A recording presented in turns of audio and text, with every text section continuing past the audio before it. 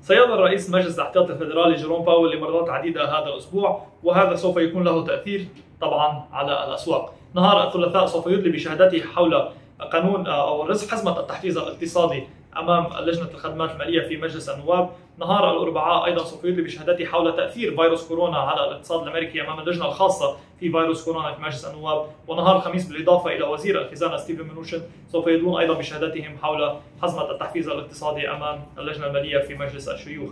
من المتوقع أن يواجه باول العديد من الأسئلة خاصة حول التطورات الأخيرة أو التغيير الأخير في السياسة النقدية وحول التوقعات الاقتصادية المستقبلية. ومن المتوقع أيضا أن يكرر أن مستويات الفائدة سوف تظل عند مستويات منخفضة.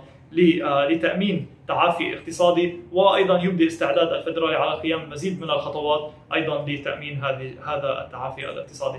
كنا شاهدنا في آه، في الأسبوع الفائت تراجع الدولار الأمريكي وأيضا الضغوطات الكبيره على مؤشرات الاسهم الأمريكية وخاصة بعد صدور بيانات اقتصادية ضعيفة كانت قد زادت من مخاوف المتداولين حول التعافي الاقتصادي.